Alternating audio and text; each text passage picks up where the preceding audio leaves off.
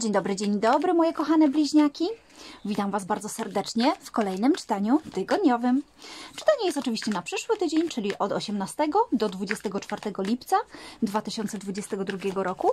Pamiętajcie, że czytania są ogólne i nie będą rezonować ze wszystkimi, więc bierzcie tylko i wyłącznie to, co jest dla Was, a resztę zostawcie. Zachęcam również do zajrzenia do opisu pod filmem. Jest tam kilka ważnych informacji na mój temat, także bardzo proszę, szczególnie jesteście, jeśli jesteście tutaj pierwszy raz, zapoznajcie się z tymi informacjami. Yy, no i co, kochani, zostawcie łapeczkę w górę.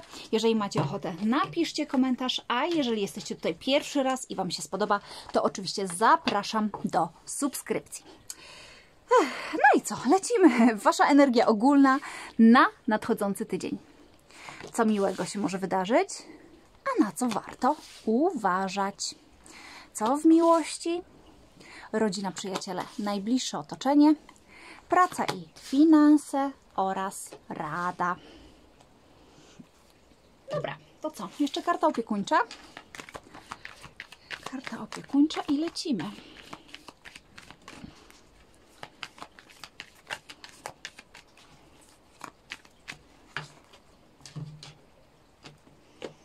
Cierpliwość.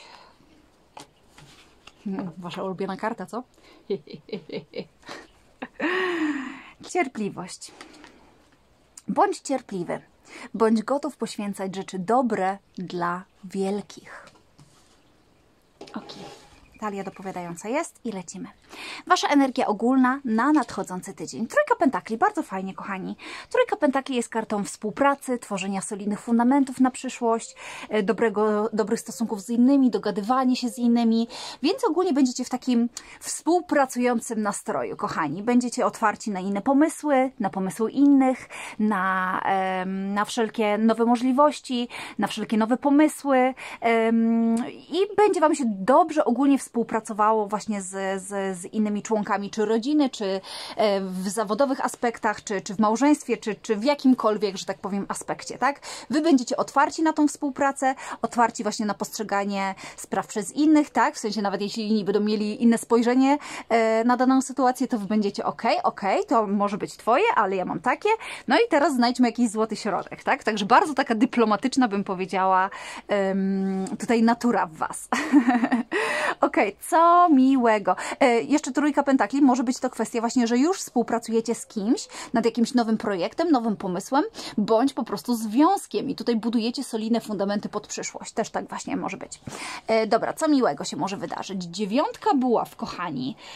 E, Wiecie co? Dziewiątka była w kwestii co miłego dla mnie. Właśnie mówi o tym, że mm, bądźcie cierpliwi i dalej inwestujcie w to, czego pragniecie, ponieważ coś niedługo, e, coś, coś niedługo się u Was zakończy, że, że coś niedługo osiągnięcie. Jesteście tak jakby na ostatniej prostej w osiągnięciu jakiegoś swojego celu, tak? Tylko właśnie, żebyście się nie poddawali. Zobaczmy tą dziewiątkę buław. O co tutaj konkretnie chodzi? Sprawiedliwość, okej. Okay. Mhm. I królowa mieczy. Słońce i mag. Wypadły nam dwie karty. Wezmę te dwie karty, kochani. Co mamy na spodzie? Siódemka kielichów. Eee, Powiem Wam tak, moi drodzy, dla części z Was faktycznie jest tutaj jakaś sprawa sądowa, z którą się tutaj zmagacie e, i tu jest informacja faktycznie, żebyście się nie poddawali, bo jesteście na ostatniej prostej. I właśnie w tym tygodniu mogą przyjść do Was tutaj ważne informacje, które albo naświetlą jakąś sytuację, albo popchną pewne sprawy do przodu. To będą optymistyczne wieści dla Was, tak? Królowa Mieczy może oznaczyć, że e, ostatecznie to dostaniecie jakiś ostateczny wynik, tak? Jakieś podsumowanie, jakiś werdykt, tak? Który, który będzie oczywiście na Waszą korzyść, ponieważ to będzie kwestia Waszych manifestacji, spełnienia jakichś Waszych afirmacji, spełnienia Waszych manifestacji, osiągnięcia to, czego pragnęliście, to, nad czym tak długo pracowaliście. Także to może być typowo sprawa sądowa. Dla części z Was może to być kwestia sprawa, kwestia sprawy pod, podpisania jakiejś umowy na przykład, nie? Jeżeli na przykład rozwijecie własny biznes, um, albo jesteście w trakcie załatwienia jakiegoś klienta, albo poszerzania jakiejś swojej działalności, czy, czy może walczycie o jakiś awans, coś w tym stylu. Kochani, w tym tygodniu będziecie podpisywać jakąś umowę umowę, jakąś ważną dla Was umowę, która będzie takim Waszym spełnieniem, ponieważ Królowa Mieczy to jest Wasza energia, to jest energia lidera, to jest energia osoby, która sięga po swoje, która działa logicznie, rozważnie, która wykorzystuje swoją mądrość, swoją wiedzę, żeby osiągnąć to, czego pragniecie. I mamy też tego maga, to też jest energia manifestacji, tworzenia, sięgania po swoje marzenia, tworzenia własnej rzeczywistości. Więc kochani, jeżeli w ostatnim czasie zastanawialiście się, czy to, co robicie, ma sens i czy w końcu osiągniecie to, czego pragniecie, tak, kochani, w końcu osiągniecie to, czego pragniecie i w tym tygodniu będziecie podpisywać umowę, która będzie dla Was bardzo, ale to bardzo, bardzo, bardzo, bardzo szczęśliwa.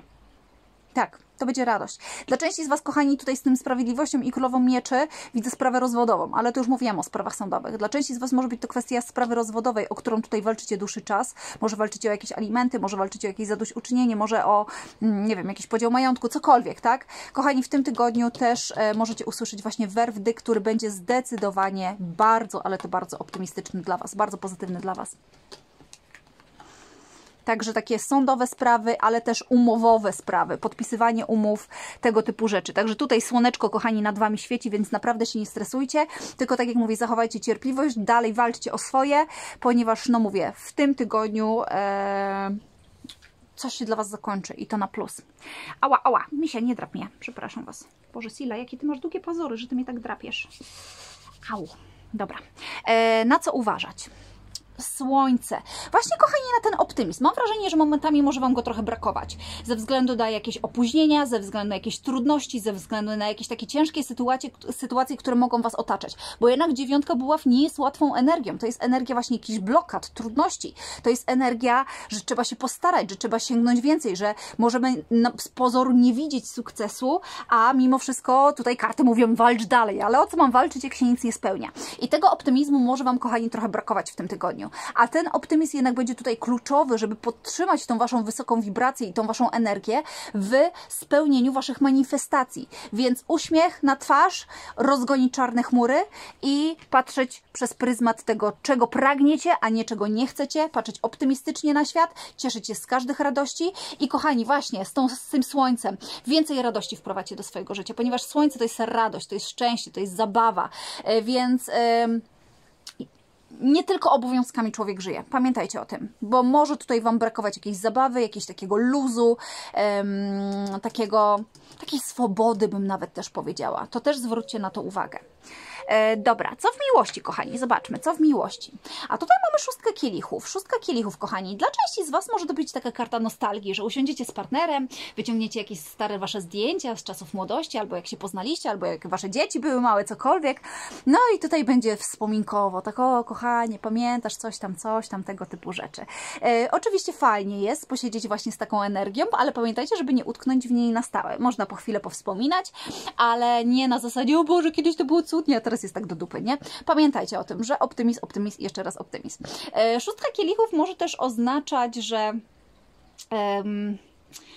No macie przy sobie taką bratnią duszę, prawdziwego przyjaciela, e, ale to też jest karta właśnie takiej zabawy, takiej, takiej trochę dziecięcej, dziecięcego podejścia do życia. Wiecie co? Mam wrażenie, że, że tutaj... Um, może właśnie odzyskacie taką radość dzięki swoim partnerowi, może będą jakieś takie wygupy, bo bardzo lubię tą kartę właśnie szóstki kielichów, kochani, e, bo zazwyczaj jest tam dwójka dzieci, jakieś tam słońce i tak dalej, a tu mamy sześć tych małych takich syrenek, które kombinują coś, jedna nasłuchuje w kielichu, druga robi jakieś głupie miny, ta coś tutaj wylewa, także tutaj jest takich, dużo takiej figlarności bym powiedziała, więc e, w stałych związkach mam wrażenie, że tutaj ta figlarność taka odezwie się w Was, będzie dużo zabawy, dużo takiego luzu, dużo takiego takiej, takiej dziecięcej nuty bym nawet powiedziała. Wiecie o co chodzi. Bardzo, bardzo fajna energia. Podoba mi się to. E, kochani, e, dla części z Was może też powrócić ktoś z przeszłości. E, powrócić ktoś z przeszłości, jakiś ex-eksowa albo jakiś dawny przyjaciel i tutaj z tej, z tej, z tej sytuacji może wyniknąć jakiś związek, jakiś romans. Mm. Szóstka kielichów to też jest karta bratnich duszy, jakby nie patrzeć. Więc e, czy jesteście w związku, czy nie, e, no tutaj, tutaj jest jakieś mocne połączenie, tak? Jeżeli nie jesteście, to taka osoba może wkraczać w Wasze życie, która jest mocnym takim połączeniem duchowym dla Was, kimś być może, kogo znacie z poprzednich wcieleń. E, zobaczmy tą szóstkę kielichów. Dobra, chcesz wyjść, to chodź. Siódemka kielichów, ok. O, dziękuję bardzo. Król kielichów. I ósemka mieczy. I też szóstka kielichów na spodzie. Rycerz kielichów, piątka mieczy. Mhm. Wiecie co, kochani? E, dla części z Was mam wrażenie, że tutaj może się pojawić właśnie coś takiego też e, z tą szóstką kielichów dwa razy, ósemką mieczy, siódemką kielichów i, i tym e, królem kielichów. Możecie mieć do czynienia z kimś z trygonu wody, rak, ryby, skorpion, ale tu może się pojawić takie, takie coś na zasadzie, a kiedyś to było tak fajnie, przynosiłeś mi róże, nie wiem, klepałeś mi po tyłeczku, pisałeś mi jakieś cudowne wiadomości, a kiedyś to na przykład, nie wiem, robiłaś mi masażyk po pracy, albo chodziliśmy razem na spacerki, trzymaliśmy się za ręce, a teraz jest tak jakoś inaczej, tak? Tu może się pojawić kwestia takiego porównywania się, że kiedyś to było tak swobodnie, lekko, a teraz jest tak, tak, i mogą się pojawić, mam wrażenie, że tutaj jakieś wątpliwości a propos uczuć partnera. Czy dalej Was kocha, czy nie kocha, e, czy to dalej właśnie jest takie, jakie by powinno być. Mm, trochę będzie takiego właśnie, mam wrażenie, trochę sentymentu a propos właśnie, że jakieś takie zachowania uleciały i, i macie takie poczucie, że już nie powrócą, że, że coś na, odmieniło się, no wiadomo, wy się zmieniliście, partner, partnerka się zmienił, zmieniła i że to już nie jest to samo, co kiedyś. Także tutaj może się pojawić taka nutka nostalgii i mam wrażenie trochę smutku, e, ale jednocześnie taka niepewność, czy właśnie, aby na pewno partner dalej żywi do Was uczucia. Kochani, nie martwcie się, bo żywi do Was uczucia. Mamy króla kielichów, więc to nawet jeśli Wam nie mówi, że Was kocha, to i tak Was kocha, bo król kielichów taki jest. E, to jest osoba, która raczej jest powściągliwa, jeśli chodzi o wyrażanie emocji, ale kocha pełnym sercem, tak? Więc tutaj nie ma żadnych wątpliwości. A jeżeli macie wątpliwości, to porozmawiacie ze sobą. Mam wrażenie, że trochę brakuje Wam takich e, romantycznych gestów, takich właśnie rycerzek w stylu rycerzowym. Właśnie róże, rozmowy, wspólne kolacje, spacery, trzymanie się za ręce. Takich drobnych gestów, które świadczą, że właśnie dalej się kochacie, dalej Wam zależy. Tylko ważne jest, kochani, bo mamy przy tym piątkę mieczy, więc żeby to nie było tak, że nagle siądziecie, pomyślicie sobie o tym wszystkim. No właśnie, bo Ty już nie kupujesz mi róż, bo Ty już nie gotujesz mi obiadków, bo Ty już tego, tego, tamtego. Nie róbcie z tego gównoburzy, kochani. E, bardziej podejdźcie do tego z miłością, z takim właśnie z tą trójką pentakli, właśnie z taką, to ja Ci pokażę, że możemy powrócić do dawnych czasów, tak? I to ja Ci pokażę, jak bardzo Cię kocham.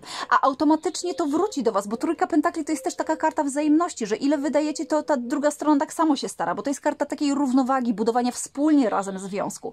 Więc mam wrażenie, że tutaj nie kłótnią, nie jakimiś e, wypominkami e, macie do tego podejść, tylko właśnie gestami, tylko okazać tą miłość. A ta miłość zostanie Wam odwzajemniona i coś, kochani, tutaj się u Was poprawi, bo mamy jednak na spodzie po tą trójką pentakli dziesiątkę kielichów. Tutaj jest szczęście, tutaj jest miłość i jeszcze ten as kielichów. Czyli tak jakby, kochani, mm, poprzez swoje romantyczne gesty, których Wam brakuje, uzyskacie nie dość, że potwierdzenie, że partner dalej Was kocha, to tak jakby obudzicie też w partnerze chęć do okazania Wam tej miłości. Wiecie o co chodzi. I tutaj mam wrażenie, że właśnie rozpocznie się taki fajny nowy etap. Trochę tak jakby powrócicie latami do czasów z przeszłości, kiedy jeszcze zabiegaliście o siebie, kiedy było inaczej, tak? Kiedy było lżej.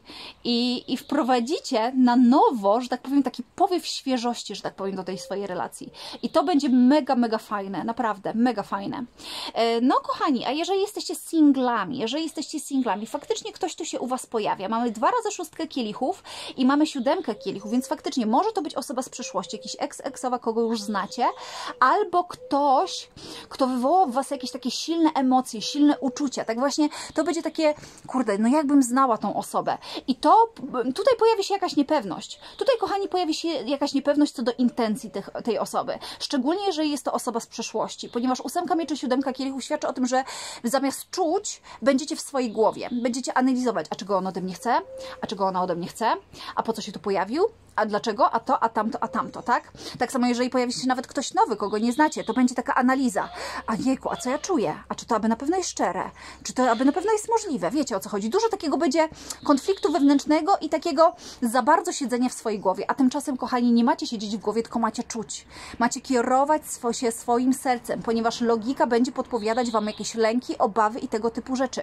A ta osoba przyszła do Was z miłością, z sercem na dłoni i ta osoba chce współpracować współpracy z Wami, odbudowania tej relacji, bądź zbudowania na nowo, jeżeli faktycznie jest ktoś nowy, albo z kim nie byliście nigdy w związku. Dziesiątka kielichów sugeruje, że z tego naprawdę może być piękny związek i że z tego może być, no jakby nie patrzeć, i żyli długo i szczęśliwie. Więc nie ograniczajcie się, w sensie umysłowo, bardziej czujcie, jeżeli wasze serce wam podpowiada, że warto w to zainwestować, że warto w to pójść, u, co to za wszystko, e, to, to nie wahajcie się, spróbujcie, spróbujcie. Ponieważ ja tu nie widzę nic, co by miało was ostrzegać, kochani. Tak jak mówię, król kielichów, ta osoba przychodzi do was z czystą miłością i ze szczerymi intencjami. E, dobra, rodzina, przyjaciele, najbliższe otoczenie. Czwórka mieczy. Kochani, to mam wrażenie, że będzie jakiś urlopik, jakieś wakacje albo jakaś przerwka. Część z Was może zrobi sobie parę dni urlopu od pracy albo wyjedzie gdzieś z bliskimi, e, żeby naładować baterię. Czwórka mieczy mówi o, mm, o jakimś odpoczynku, tak? o jakiejś regeneracji. Zobaczmy tą czwórkę mieczy. Część z Was może, może też być taka kwestia, że część z Was mm, trochę odetnie się od jakichś znajomych, bliskich, mm, bo będzie miała, po, potrzebowała e, pobyć parę dni. Co tak wieje? Coś zaraz nawieje, jakiś deszcz, cholera. E, będzie miała potrzebę pobyć trochę samemu, tak? Także też tak może być dla części z Was. Zobaczmy tą czwórkę mieczy. Mhm, rycerz mieczy. Szóstka mieczy i arcykapłanka, dziewiątka buław. E, dobra, moi drodzy, a więc tak, dwie kwestie. E, jedna kwestia to faktycznie może pojawić się tutaj jakaś nieoczekiwana oferta, wiadomość od kogoś, być może spod znaku raka, e, albo z, od jakiejś takiej, no, przyjaciółki, mm, mam wrażenie, że kobiety, ale no, no wiecie, weźcie jak tam rezonuje, to jest mocno żeńska energia. E, pojawi się jakaś opcja na jakiś wyjazd gdzieś, na wyjazd, na spędzenie trochę czasu gdzieś tam na może na łonie natury, na odpoczynek. E, mam wrażenie, że będziecie się trochę zastanawiać, czy warto w to iść, czy nie, ponieważ mówię, macie dużo obowiązków, dużo na głowie i to będzie taka kwestia cholera jasna. Może lepiej to olać, bo, bo muszę tutaj skończyć parę rzeczy, muszę tutaj pracować na, nad jakimś projektem, nad jakimś pomysłem, kasa, coś tam. I ja nie wiem, czy mogę sobie pozwolić na te parę dni urlopu, czy, czy parę dni wolnego. Kochani, jeżeli czujecie, zróbcie jak czujecie, ale tutaj karty ewidentnie mówią, że czas na jakiś odpoczynek, że zróbcie chociaż sobie jeden, dwa dni takiego, takiej przerwy, urlopu, wyjedźcie gdzieś za miasto, pobędźcie trochę sobą, z, z osobami bliskimi i odpocznijcie, naładujcie baterię. Dla części z Was może to być taka potrzeba, żeby pobyć też samemu, ponieważ arcykapłanka często jest tutaj uważana za...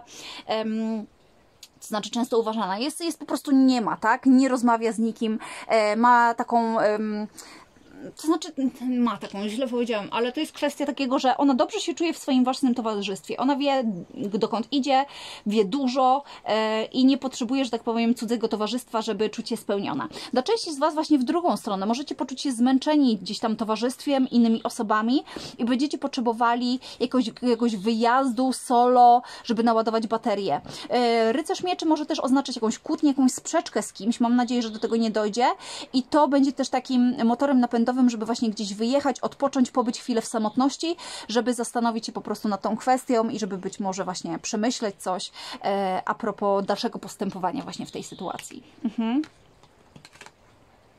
No właśnie, dla części z Was to może być kwestia cichych dni. Może pojawić się jakaś sprzeczka, kłótnia, szóstka mieczy, odwrócicie się tak jakby od tej osoby i zamilkniecie, tak? I tu będzie jakieś odniknięcie, albo ta osoba zamilknie i nie będzie chciała z Wami rozmawiać. Także uważajcie też właśnie na kłótnie, na jakieś sprzeczki tego typu rzeczy w tym tygodniu. Bo po co? Nie ma sensu. E, dobra, praca i finanse, co tutaj? No, kochani, tutaj dziesiątka pentakli, także finansowo bardzo dobry tydzień. Dziesiątka pentakli mówi o ukończeniu jakiegoś też cyklu, o zdobyciu jakichś zaszczytów. Część z Was może przechodzić na emeryturę, tak? Część z Was może osiągać właśnie jakiś sukces w jakiejś firmie, działalności. Część z Was może mm, zdobyć jakiś spadek, tak? E, albo osiągnąć jakieś bogactwo, które było jakimś tam szczeblem dla Was. Kochani, dziesiątka pentakli jest dla, mną, dla mnie kartą taką i żyj długo i szczęśliwie i to jeszcze w bogactwie, dobrobycie i nigdy Wam im nigdy nie, niczego nie brakowało, tak?